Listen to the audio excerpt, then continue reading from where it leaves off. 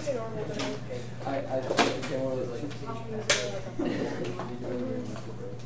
All right, so what we did yesterday was we talked about um, carbohydrates. So carbohydrates are one of the classes of biological organic molecules. We talked about monosaccharides, disaccharides, polysaccharides.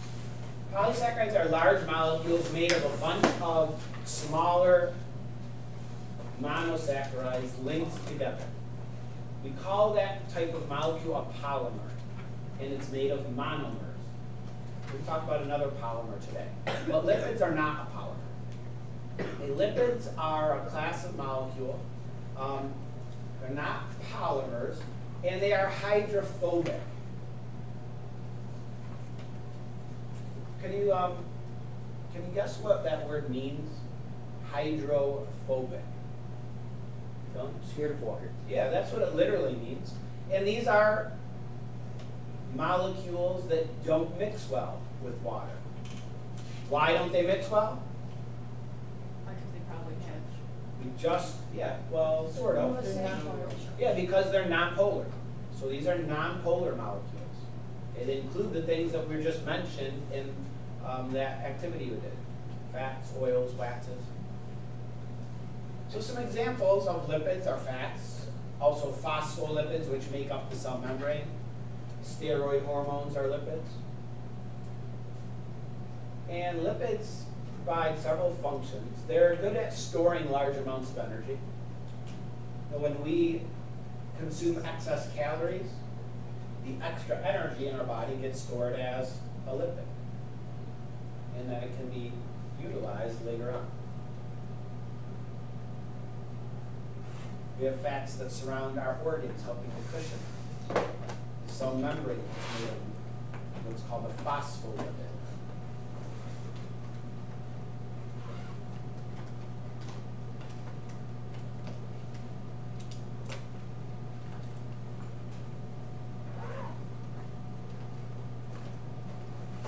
They also store energy, and I would guess you studied in health the nutrition of fats. Fats contain the most energy per gram, with nine calories for every gram of a lipid. However, they take longer to digest. They're not as quick to uh, mobilize as carbohydrates. Their oils are, lipids are often used in seeds to store energy while the seed is germinating.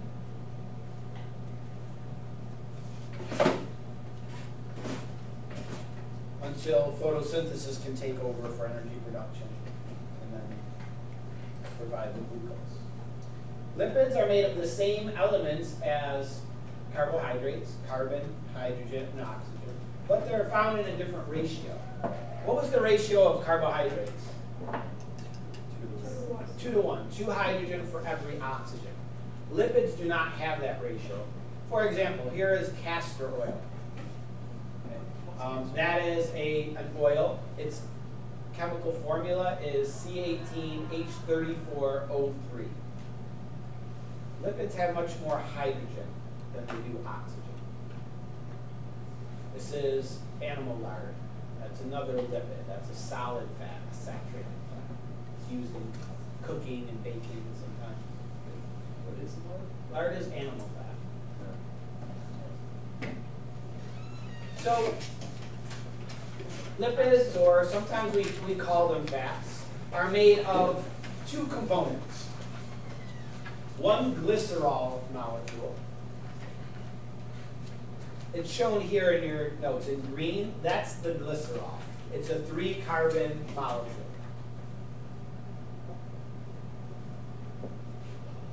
Attached to that glycerol are three fatty acids. So these things in red, those are fatty acids. And there's a variety of fatty acids that could be attached to the glycerol. Like here are some examples. Stearic acid is 18 carbons long. Palmitic acid is 60. Butyric acid is 4. So you could have different fatty acids that get attached to the glycerol. And these fatty acids have this group at the end that you're gonna see frequently in, in biochemistry. It's called a carboxyl group.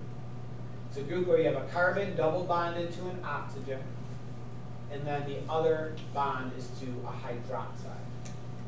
That's called a carboxyl group. And you'll see it's on these fatty acids here. This is what the glycerol looks like in a ball and stick diagram, and this is what the fatty acid looks like. Fatty acids are hydrocarbon chains. Do we have to memorize? No.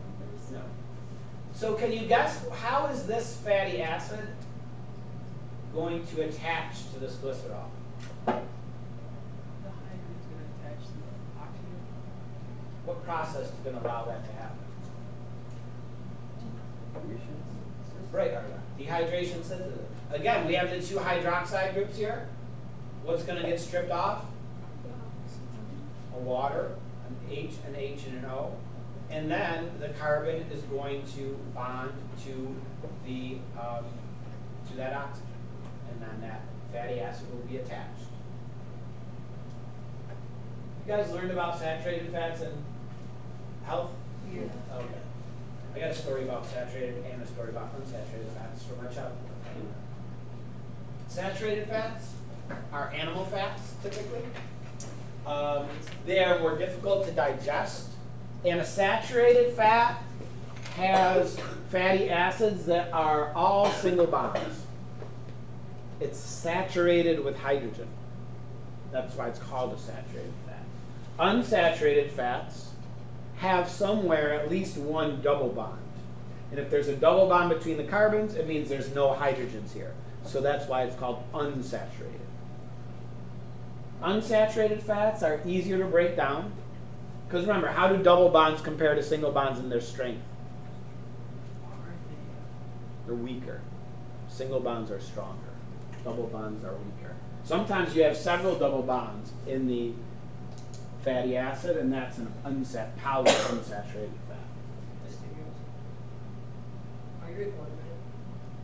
So, um, unsaturated fats are typically healthier. So they're typically plant-based. They're a liquid typically, and you can take a um, an unsaturated fat and make it into a saturated fat. Like you could take vegetable oil, which is unsaturated, and if you add hydrogen in an industrial process, you can make it a saturated fat. It's called hydrogenated.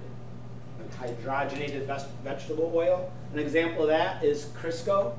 If you ever cook, bake something, maybe a pie or something, you know what Crisco is? It's like comes in like a, a little cylinder, and it's this white sort of greasy stuff. It's a fat. It comes from vegetable oil that's been hydrogenated. Is it like a chip or like? No, it's a Yeah. paste almost. So when I was a Kind of kid, cookie dough. no, it's just fat. So when I was a kid, my mom would um, she'd use that sometimes to bake things, and I one time I was kept asking her, I wanted to taste it because I thought it was like vanilla frosting because it's the same color. So I kept asking her and asking her. She said, No, no, it's not. It's disgusting. Finally, she said, Okay, go ahead, try it. And so I like put my fingers in the Crisco and scooped out. Was like this greasy, slimy, and I took it, ate it, and then I puked in the in the sink immediately. It's horrible. Just pure fat. Can I try it? No. I think wait, is that the stuff when you're like cooking um? Sometimes you grease like a cookie sheet with no, no, it. no, when you're like cooking burgers like, like on a big grill, no, no, no. And then the grease, you turn the grease off, and then it turns like this hardy No, material. it's a fat mistake. It is. It's, a, it's fat, but it's not that fat. The other story I have about unsaturated fats is also involving my childhood. Is when my mom would make fried meatballs, she would save the oil, like you could use it again. You're a vegan. But she saved it and she put it in an orange juice container. Oh, and so one morning I got up oh. and I went downstairs before anybody was up, poured myself a nice delicious glass of orange juice, It wasn't orange. and you still took a big it. gulp, Still drink it though. and I vomited in the sink immediately. It wasn't It orange. It wasn't orange. Well, yeah, it was like because it was olive oil, it was like orangish in color, and it had been it like cooked meatballs. Can you tell by smelling it? I was just got awake. I was How old? How old are you? like seven or eight. Wait, wait, you're a vegan. All right. So that's all we're really gonna say about lipids. we have a lot to say about proteins. Proteins are an extremely important organic molecule to living things. Another word for protein is a polypeptide. Nice. poly meaning many. And proteins are important in all living things. Basically, our cells, the structures of the cell, they're built of proteins. The organelles are. Our tissues and organs are made of protein. Ligaments, tendons, muscle, hair. This is all basically protein.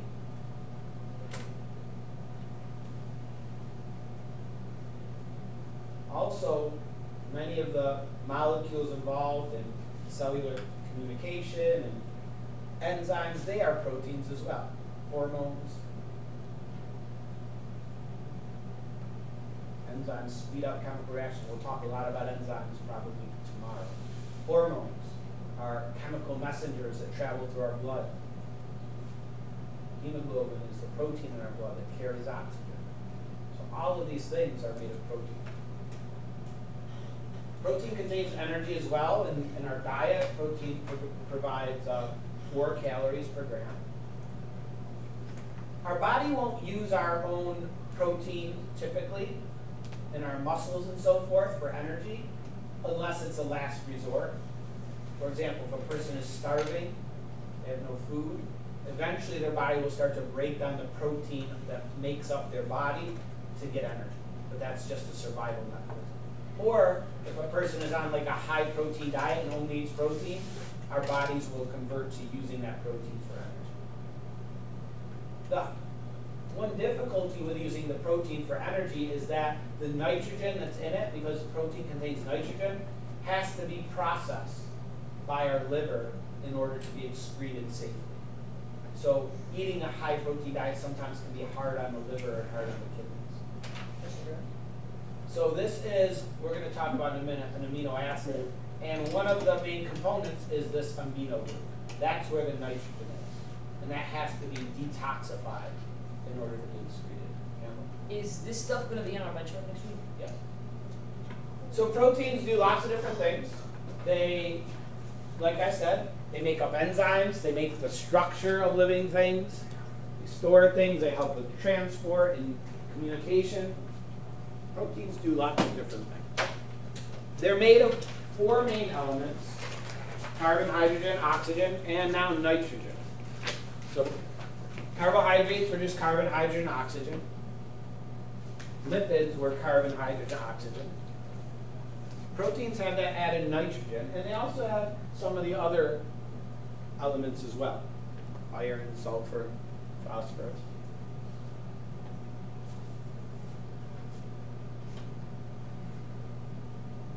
Proteins are very, very large molecules. Thousands and thousands of atoms make up a protein. They have a very complex shape with spirals and ridges and folding, a three dimensional shape. And a protein is made, a protein is a polymer, so it's made of smaller subunits. The subunits that make a protein are called amino acids. An amino acid, this is the chemical structure. It has a central carbon atom. And then attached to it, there's the hydrogen. There's the carboxyl group. There's an amino group where the nitrogen is. And then there's also this R group. Now, R isn't an element. What this R stands for is a functional group. There are about 20 different functional groups that can be added here. And that forms about 20 amino acids. Linking two of these amino acids together forms what's called a dipeptide, di meaning two, and that happens again during dehydration synthesis.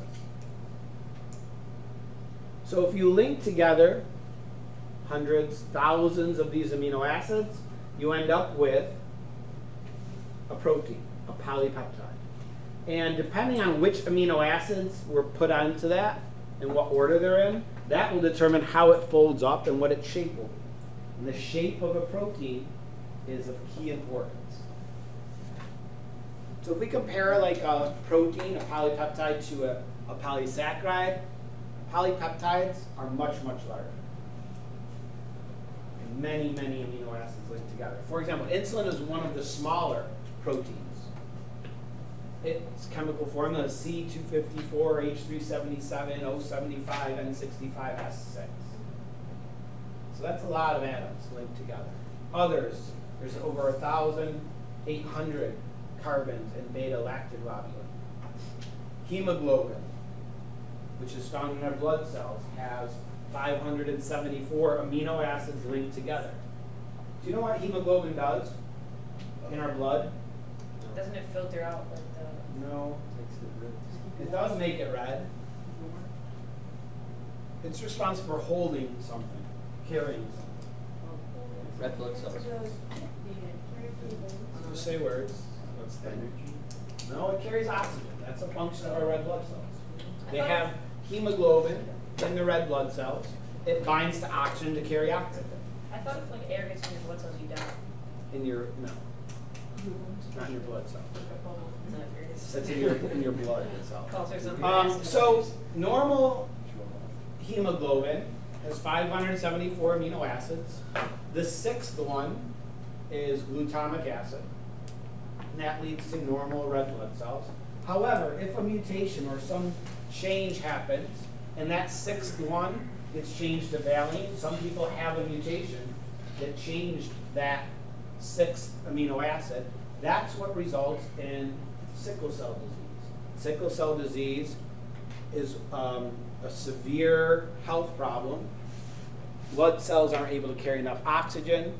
They form these shapes that clog up veins and capillaries, can lead to early um, mortality, lead a whole host of health effects.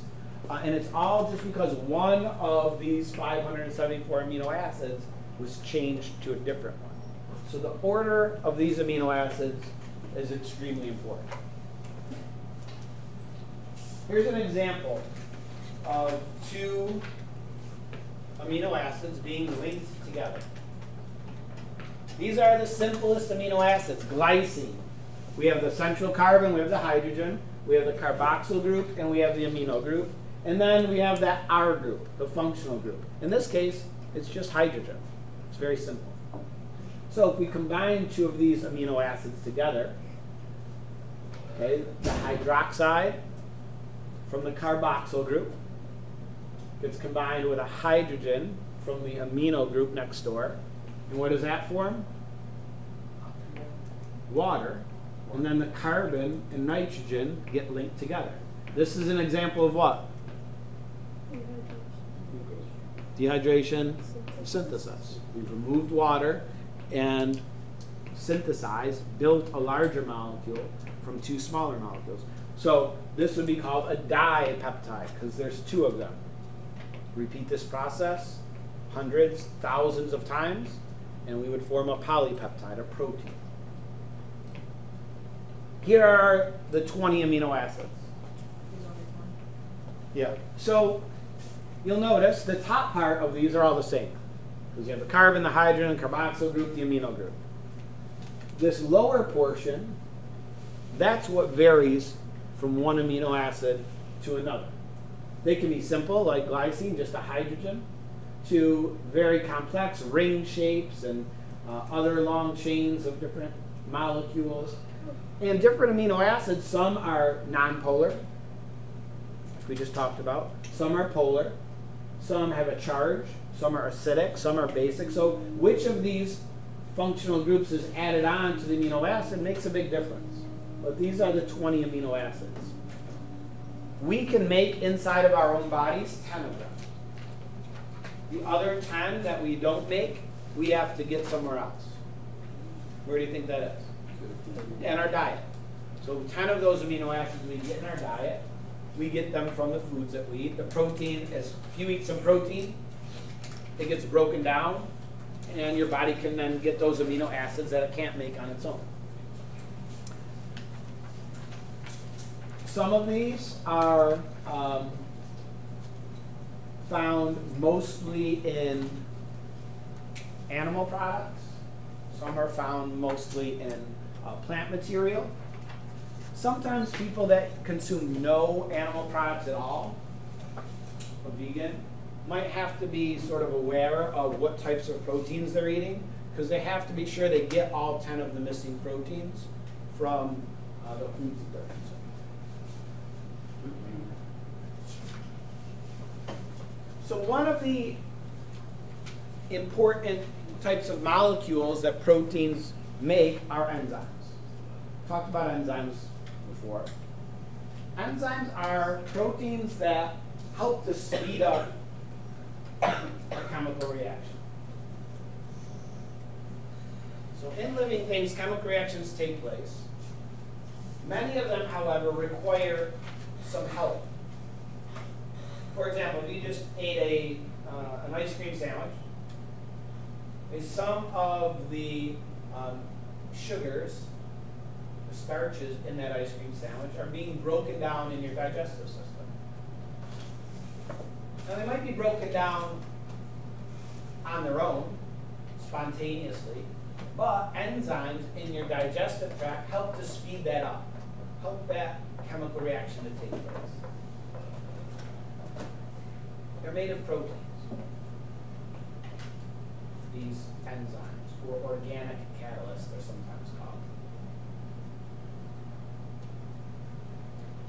And what they do is they make it easier for a reaction to happen. They lower what's called the activation.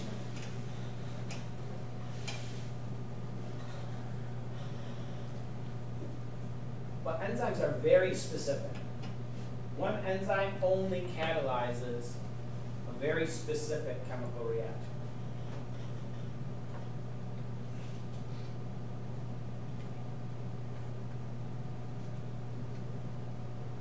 For example, if this is sucrose, okay, sucrose is, uh, is what kind of carbohydrate is it? Anyone remember sucrose, table sugar? What kind of, uh, The last. it's a disaccharide. It has two monosaccharides combined. So if this is sucrose, there is an enzyme that we have in our body that helps us to digest sucrose. The name of the enzyme? Insulin. Sucrase. Sucrase, I knew it. Typically, enzymes are named ending with ASE, and they're named after the molecule they are working on. So sucrase interacts with sucrose to help it be digested. So some words here. So the enzyme is this green thing. Its shape is very specific, allowing it to sort of connect with whatever molecule it's working on. This would be sucrose. The molecule the enzyme works on is called the substrate. They bind together, and then the enzyme causes a change to happen. In this case, the change happens to be taking that larger molecule and splitting it into two smaller molecules. Those would be called the products of the reaction. Now, if you look at the enzyme, does it look any different? No. The No, it can be reused again. Now a new sucrose molecule could come in. The enzyme could help break it up and release the product. So enzymes are used over and over again. They don't get used up.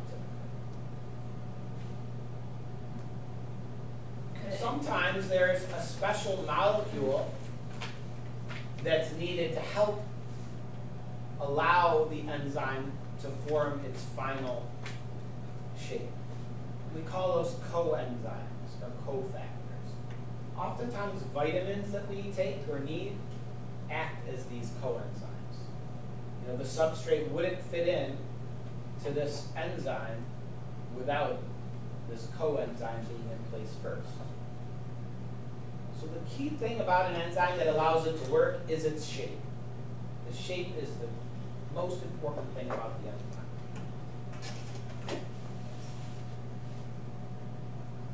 The, the area where the substrate and the enzyme bind together is called the active site. That's where the reaction is going to take place.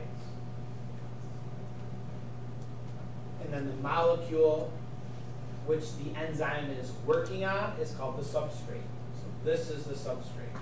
This is the enzyme. This is the active site. Then these are the products released. Here's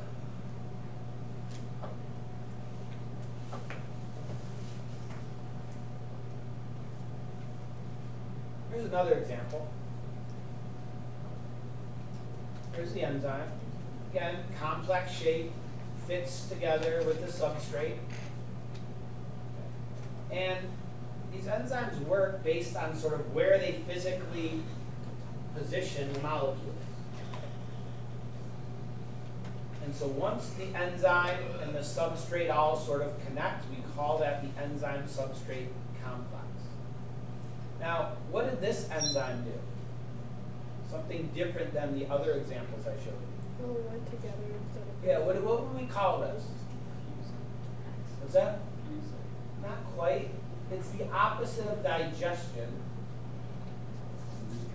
We have a word we use for this.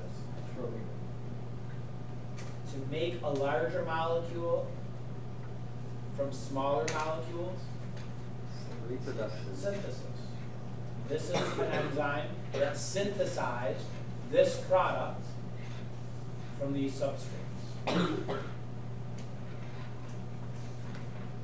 gonna, we're gonna stop there, we'll, we'll come back to that tomorrow.